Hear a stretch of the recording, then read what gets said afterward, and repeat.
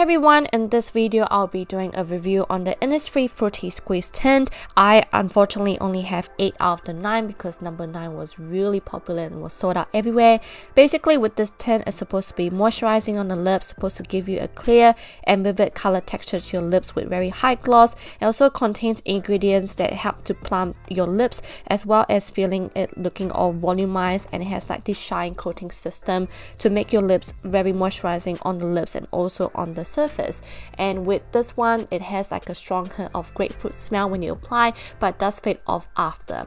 For this application it is much more better to apply as a gradation lip rather than a fuller lip because it glides on really easily but if you put it on as a fuller lip it does not give you an even finish on the top but again you can. And the gloss does um, disappear quite fast. In regards of the longevity it only lasts about three hours or until you eat and then the inner part of the gloss will actually disappear or the color will disappear. So let's get started with the first color and it's called number one fig. And for me I call this like a strawberry red color but leaning towards a little bit of obviously the bright side. I like how it matches to the model itself which is great Next, number two is called Apple, and for me, compare this with number one fig. This is much more red, it's much more darker, and it's much more warm as well on my lips. I like the tint of this, and did I mention that with this tint, it doesn't show any of my dry patches at all, which is great. Next is number three called Jujube and honestly guys I love anything to do with purple so I definitely love this color. I also love that this is a warm purpley shade which is beautiful for any cold night or you know winter days or you know just this is beautiful colors and I love how it complements my skin.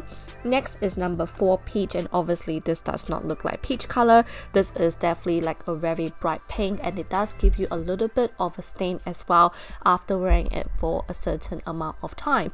I still like it though and is obviously different from the model itself. Next color is number 5 which is another purple shade which I absolutely love and this one I felt it was much more brighter. So for me this I called this more like a great purpley shade. Definitely love this on my lips. I love the turnout of this and you can see as a full lip it's much more darker as well and love that it matches to the model. Next shade is number 6 strawberry. So again with this one does not look like strawberry color. It looks more like a fuchsia pink. It's much more corally, definitely much more lighter pink.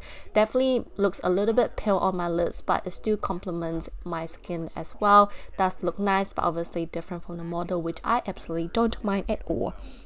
Next is called number 7 apricot and for me I love this color because I felt like not only because it's coral but because it's like a warm corally shade if you know what I mean and also it's like orange with a little bit of that red undertone to it as well definitely look different from the model but it's okay.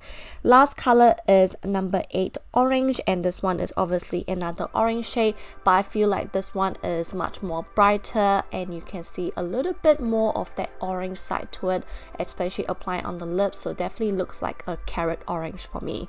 So overall I'm really happy with the color ranges. I think number 9 is also another orange shade so I don't mind um, missing out on it. It's okay. I'm very satisfied with all the colors that I got. You can see that it's stained on my wrist but again it doesn't really stain as much on the lips which I absolutely don't mind. Like I said before with the longevity it doesn't last as long. Until you start eating or drinking it starts fading off on the inside of your lip but in regards of the staining it's not that strong so it's okay.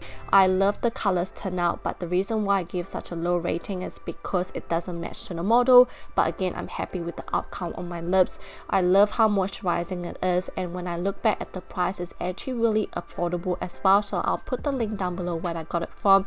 But i hope you guys enjoyed this. This is definitely great for those who are looking for something really lightweight on your lips. You want a little bit of color but you don't want to wear lipstick. This is perfect for you because this is great for who have dry skin but longevity wise it's not long lasting. The gloss does disappear quite fast as well. So yeah you just have to keep that in mind. But again I hope you guys enjoyed this video and I'll see you guys on my next video. Bye guys